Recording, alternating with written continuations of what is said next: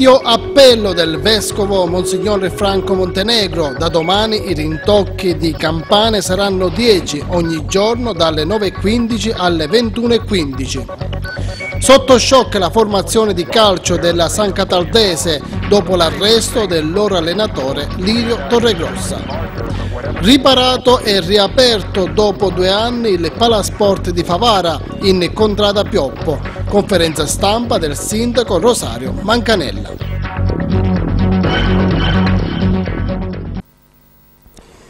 Ben trovati al TG98 in apertura del nostro telegiornale di oggi il video appello del Vescovo di Agrigento Monsignor Francesco Montenegro sulla cattedrale. Do, da domani si apre l'anno della fede. Montenegro spiega il perché dei rintocchi di campane che saranno 10 ogni giorno, dalle 9.15 alle 21.15. Sentendoli dobbiamo ricordare che abbiamo una mamma in agonia e questo non può lasciarci indifferenti. Ma vediamo il video messaggio di Monsignor Francesco Montenegro.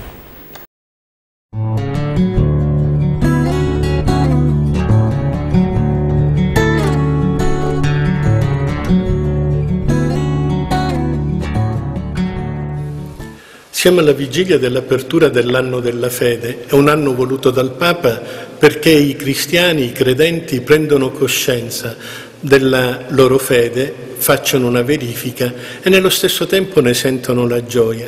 In questo cammino un riferimento importante è la cattedrale, la Chiesa Madre, però per noi agrigentini questo punto di riferimento viene a mancare. La nostra cattedrale è chiusa e la nostra cattedrale è malata. E noi forse ci siamo un po' dimenticati di questa cattedrale ed è per questo che in questo anno sentirete dei rintocchi, la mattina e la sera.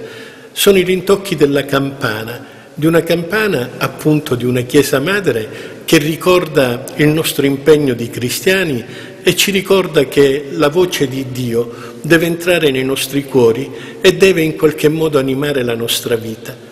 Questi rintocchi partiranno, partiranno da una torre, la torre campanaria. La torre campanaria per la città ha anche un significato, anche per chi non è credente. Questa torre è ritta ed è, sta qua da tanto tempo e ricorda tutta una storia passata, bella e straordinaria. Ma ancora una torre che riesce a mandare i suoi rintocchi, allora ci dice che c'è un futuro, che possiamo andare avanti, anzi che dobbiamo andare avanti. E poi questi battiti che sentiremo sono come il battito di un cuore, di un cuore però che è malato.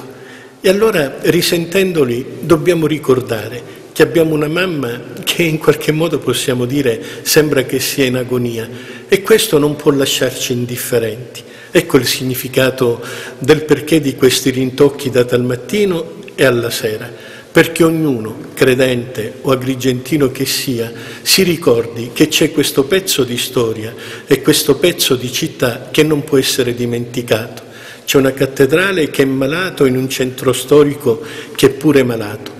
E allora se ognuno di noi prende coscienza e ci sentiamo uniti a volere la nostra cattedrale aperta, credo è ridare un cuore e ridare a questa città il suo significato grande perché ricollega la storia passata con la storia che deve venire. A voi affido questa attenzione e a tutti do il mio saluto.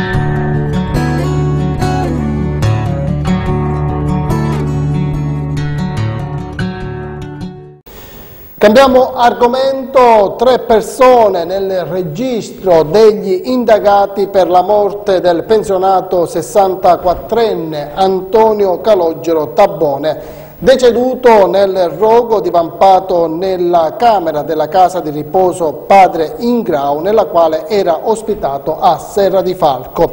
I tre appartengono alla struttura comunale gestita da una cooperativa, ma prima di un'eventuale formulazione del capo di imputazione probabilmente si vuole attendere l'esito di questa prima fase delle indagini. In un primo momento si era ipotizzato che le fiamme potessero essere state innescate da una sigaretta che Caliggio, indicato come un accanito fumatore, avrebbe lasciato accesa, ma questa ipotesi è stata scartata. A San Cataldo l'arresto di Lirio Torregrossa coinvolto nel blitz della mobile è stato un fulmine a ciel sereno. La San Cataldese, squadra militante in eccellenza, si ritrova di punta in bianco senza allenatore. La dirigenza ha già affidato la guida tecnica all'allenatore in seconda. Per noi, ha dichiarato il presidente Giuseppe Di Liberto, è stato un colpo. Abbiamo subito incontrato la squadra per tranquillizzare soprattutto i giocatori. La squadra è rimasta sotto shock per la notizia. Siamo dispiaciuti, prosegue Di Liberto, ma i programmi non cambiano ed è pure confermata l'amichevole al Valentino Mazzola con il Catania. La gara è in programma oggi. Torre Grossa, tecnico e gestore di sale e giochi, da giocatore ha militato anche nel Torino e nel glorioso Licata di Zemani. Il coordinatore nazionale del cantiere popolare Saverio Romano ha incaricato il suo avvocato Raffaele Bonsignore di procedere con la querela per diffamazione nei confronti di Gianfranco Miciche e Rosario Crocetta. Miciche in un video ha detto di aver incontrato Romano per parlare dell'ipotesi di realizzare gli inceneritori.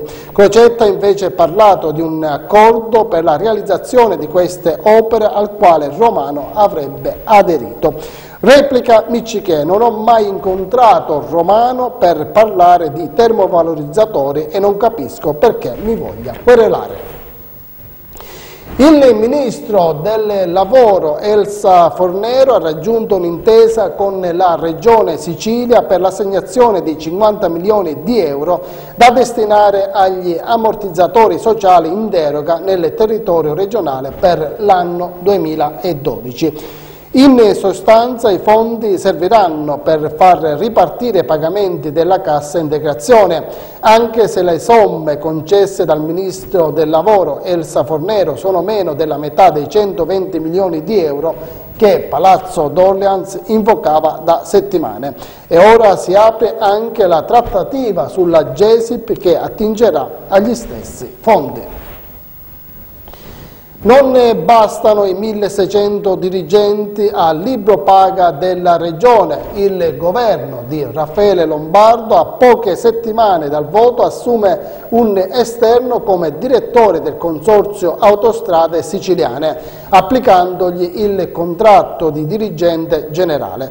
Costo tra i 700.000 e un milione di euro per cinque anni. Se la Regione avesse individuato un dirigente interno per il posto di direttore del CAS, la nomina sarebbe stata a costo zero. Pubblico e privato, una conciliazione che se saputa fare non potrà far altro che portare benefici Risistemato il tetto del palazzetto dello sport di Contrada Pioppo a Favara grazie al contributo della cooperativa sestante dei fratelli Bellavia, riaperta al pubblico dopo due anni la struttura. E questa mattina a conferenza stampa del sindaco di Favara, Rosario Mancanella. Vediamo. Si riapre il Palasport Antonio Giglia, un altro importante passo dell'amministrazione comunale di Favara. Abbiamo detto durante la campagna elettorale che volevamo fare di Favara una città normale, dove tutto quello che c'è deve funzionare nel migliore dei modi possibili.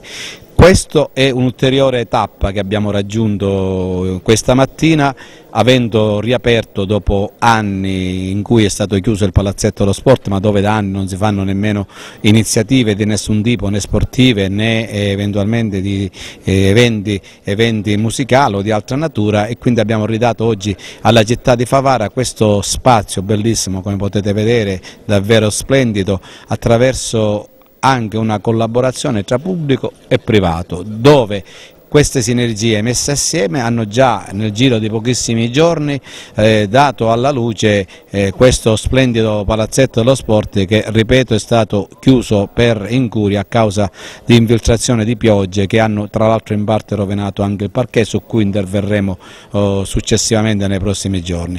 È un fatto importante per la mia amministrazione che dà luce eh, a, questa, a, questa, struttura, spero adesso che ci siano una serie di eventi, il primo in programma lo annuncio già alla vostra televisione da questi microfoni è quello che l'8 di dicembre apriremo con uno spettacolo del complesso musicale eh, dei Pooh che saranno qui a, dire, a, rallegrare un po' tutti i cittadini soprattutto coloro i quali amano la musica degli anni 60. Continueremo avanti così perché non solo il palazzetto dello sport eh, deve essere riaperto, cosa ripeto che stiamo facendo stamattina, ma anche la piscina comunale deve essere una piscina comunale che deve andare in attivo. Oggi noi spendiamo 300 mila euro l'anno per mantenere questa piscina comunale aperta tuttavia incassiamo appena 35 mila euro, quindi è una, una spesa con, questo, oh, con, questa situazione finanziaria che abbiamo tutti i comuni che rende difficile mantenere aperta questa struttura se non c'è anche qui l'intervento pubblico-privato. E quindi daremo faremo una gara, adesso stiamo studiando qual è la, il metodo migliore per farlo, ma vogliamo che chi gestisce il palazzetto dello sport possa gestire anche la piscina comunale e tutti gli spazi pertinenti in maniera tale che ognuno può usufruire sia della piscina sia del palazzetto dello sport a secondo dei propri interessi e delle scelte eh, che si fanno in questa direzione. La riapertura di un palazzetto è sicuramente un momento importante per lo sport. Sì, è un momento importante e di felicità. Eh, come possiamo vedere il Palasport eh, Giglia di Favara è una struttura meravigliosa, purtroppo a causa delle eh, intemperie si era rovinata la copertura, adesso ehm, eh, con diciamo, l'aiuto, l'ausilio del sestante, ehm, nota per l'organizzazione eh, di eh, numerosissimi eventi eh, nella, ehm, valle, nella Valle dei Templi, oggi riapriamo questa meravigliosa struttura c'è stato diciamo, um, un protocollo di intesa con la cooperativa Il Sestante, organizzeranno già delle manifestazioni subito eh, nei, primi giorni, nei, primi giorni, di dicembre, verranno i PU, saranno ospitati proprio in questo meraviglioso palazzetto e per noi oggi è una giornata di festa, una giornata importante. Questo è un sito sportivo importantissimo, abbiamo una piscina eh, meravigliosa, questo palazzetto dello sport che ha eh, gli utenti non solo, raccoglie l'utenza presenza non solo favarese ma anche dei eh, paesi vicini, eh, agrigentini, racalmutesi, grottesi, tantissimi eh, nostri concittadini che utilizzano giornalmente la eh, piscina comunale e potranno da oggi utilizzare anche questa meravigliosa struttura.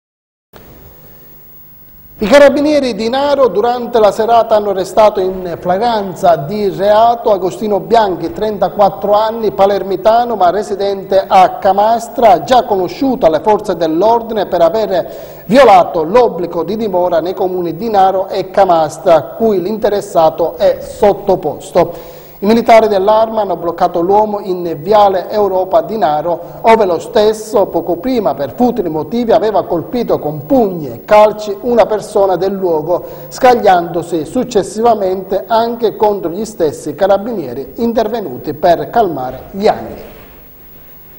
E I carabinieri nella tarda mattinata hanno eseguito un'ordinanza emessa dal giudice per le indagini preliminari del Tribunale di Sciacca.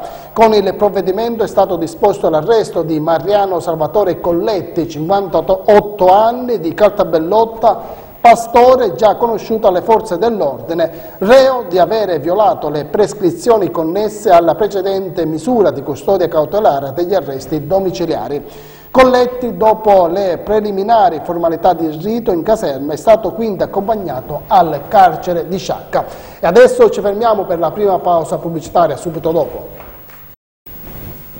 Saranno 16 e non più 15 le liste del collegio di Agrigento per il rinnovo dell'Assemblea regionale siciliana. È, stati, è stato infatti riammessa la lista del popolo dei Forconi. Il Tribunale amministrativo della Sicilia ha infatti accolto il ricorso dei legali del candidato alla presidenza della regione Mariano Ferro che hanno chiesto di riammettere la lista esclusa nel collegio di Agrigento perché una delle candidate, Linda Cottone, non aveva i requisiti per essere inserita essendo stata condannata ad una pena inferiore ai due anni di reclusione. In corsa quindi, tranne la Cottone, tornano Maria Teresa Fazio, Giuseppe Marinelli, l'artigiano campobellese Carmelo Camilleri, detto Angelo, il favarese Giacomo La Russa e il canicattinese Giovanni Costanza.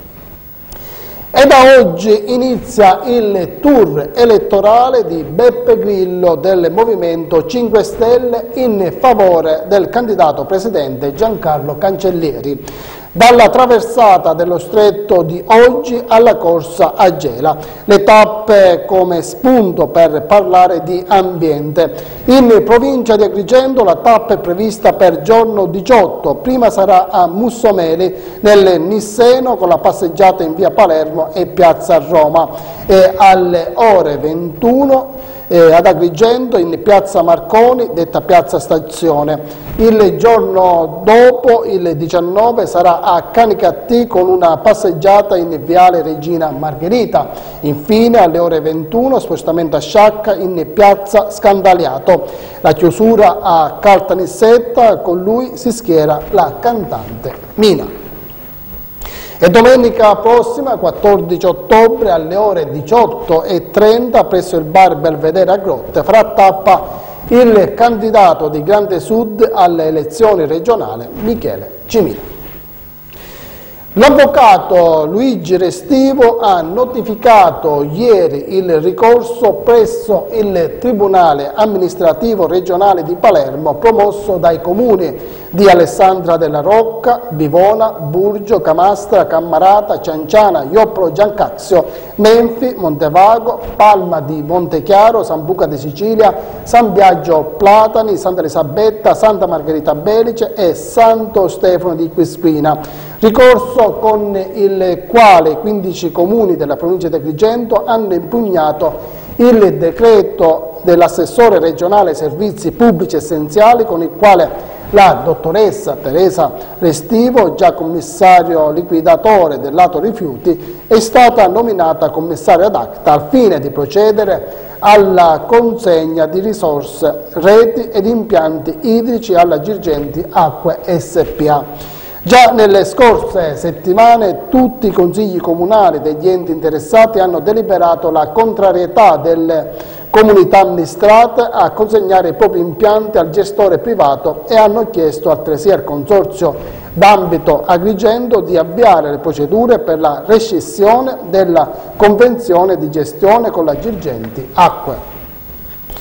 Tre colpi di pistola a scopo intimidatorio sono stati sparati ieri sera a Gela contro la sala cinesca del più grande panificio di Gaetano Marinetti in via Tartini a poche decine di metri dalla caserma dei Carabinieri. Marinetti, ex presidente dei panificatori del Confartigianato di Gela, potrebbe essere nel mirino nell'ambito della guerra sul prezzo del pane.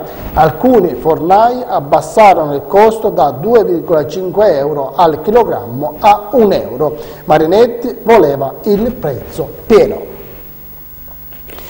Movimentata riunione di condominio lunedì sera in una palazzina di contrada Giuccafa a Porto Empedocle. Durante la discussione sulla suddivisione delle spese e la pulizia della scala si è scatenata una rissa tra alcuni partecipanti all'assemblea.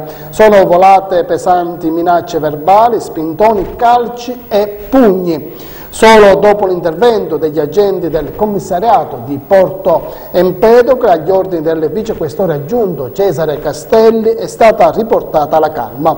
Al vaglio della polizia la posizione di alcuni condomini e non sono esclusi provvedimenti dell'autorità giudiziaria. Un progetto che mira a coinvolgere i produttori vitivinicoli dell'isola nel recupero e nella salvaguardia dei beni culturali siciliani. L'iniziativa dell'associazione Amo l'Arte, Amo l'Italia Onlus, promossa in collaborazione con l'assessorato regionale dei beni culturali, è stata presentata al Reale Albergo delle Povere in Corso Catafine. Vediamo l'intervista. Allora, io l'associazione Amo l'Arte Amo l'Italia, di cui io sono il presidente, eh, un paio di anni fa, partendo da quanto era successo a Pompei, eh, tutti è ben noto il, il, degrado in cui si trovavano gli scavi, è bastato un, un temporale, è bastato una situazione climatica sfavorevole che tutto è andato, eh, è andato a scatafascio. Partendo appunto da questo fatto e considerando che in Italia, per la nota vicenda, le crisi economiche, eccetera, governi di destra e di sinistra hanno tagliato fondi per beni culturali, eh, abbiamo avuto l'idea eh, io con tutti i soci, di abbinare eh, e investire quindi nel privato abbinando l'arte alle eccellenze. Fra le eccellenze italiane una di queste, la più importante, riconosciuta in tutto il mondo, è il vino. Tra l'altro i produttori di vino sono sempre stati sensibili ai problemi dell'arte e allora abbiamo detto perché non coinvolgerli direttamente. Attraverso un semplice gesto che è quello di bere un calice di vino, una goccia di questo calice va a favore dei beni culturali per la salvaguardia e il mantenimento, in modo che ognuno possa dire anch'io partecipo, anch'io restauro l'Italia. Una taglia sui piromani, un premio da 3.000 euro a chi riuscirà a fornire alla Dedalo Ambiente prove certe ed inequivocabili sulla identità degli autori dei roghi di cassonetti nella città di Licata. Una idea del commissario della società d'ambito AG3 di Licata, Rosario Miceli. Abbiamo valutato, dice Miceli, l'opportunità di offrire un compenso stabilito in 3.000 euro a chi attraverso riprese o fotografie e altre prove possa far individuare e arrestare i piromani. Una iniziativa forte che vuole comunque puntare l'attenzione sul problema che si registra ogni notte a Licata. L'allarme incendi visto che negli ultimi tre giorni altri 20 cassoni dei rifiuti sono stati dati alle fiamme da ignoti. I poliziotti monitorano la costa nel tentativo di impedire nuovi sbarchi di clandestini. Ormai da qualche mese Palma di Montechiaro ha preso il posto di Licata, nel senso che è diventata la meta preferita dei trafficanti di uomini che a caro prezzo sbarcano migranti sulla costa. Le spiagge di Ciotta, di Marina di Palma e di Capreria sono diventate punto di riferimento per gli approdi degli extracomunitari. L'ultimo sbarco si è verificato venerdì scorso quando in centro la polizia ha sorpreso 19 clandestini che erano appena arrivati in paese dopo essere stati lasciati sulla spiaggia e cercavano un autobus per raggiungere Palermo. Gli agenti del commissariato del villaggio Giordano che operano guidati dal vicequestore Angelo Cavaleri stanno cercando di limitare un fenomeno certamente grave. Weekend ecosostenibile alla riscoperta dell'area archeologica punico-romana della riserva orientata di Isola delle Femmine è l'iniziativa patrocinata dall'assessorato regionale al territorio e ambiente dalla soprintendenza del mare e di terra che si è svolta con escursioni terra-acque, un futuro ecosostenibile per il Mediterraneo. Vediamo l'intervista. Sì, diciamo che um, oltre ad essere una tutela è una manifestazione che la collettività isolana ha organizzato nella qualità del comitato Isolotto Libero al fine di eh, valorizzare il sito archeologico che è esistente eh, nell'isolotto di Isola delle Femmine. Il sottoscritto Presidente del Comitato ringrazia tutte le autorità di polizia, capitani di porto, eh, Sovrintendente ai beni culturali, l'organizzatore dottor eh, Antonio Falcone, eh, tutti i presenti in loco, eh, tutti i pescatori che eh, aderiscono a, a questa eh, manifestazione.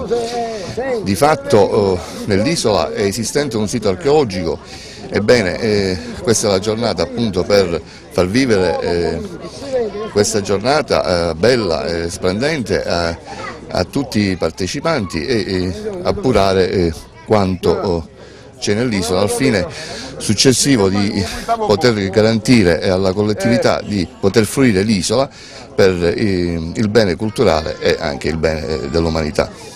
Che cosa consisterà? Ci saranno le visite presso l'isolotto?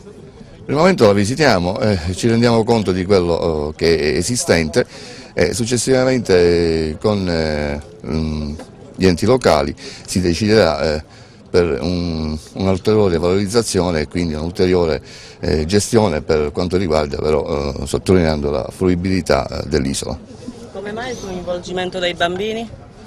I bambini sono lo specchio della verità e, e lo specchio anche dell'intelligenza. Fra l'altro io quando ero piccolo, ero bambino, mi recavo nell'isola, era libera, era un paradiso terrestre, insieme con i miei coetanei pescatori e io sono figlio di pescatore, coetanei isolani, andavamo nell'isola, andavamo a giocare quindi era eh, una, un, un luogo ludico per il divertimento dei piccoli. Seconda ed ultima pausa pubblicitaria, tra poco.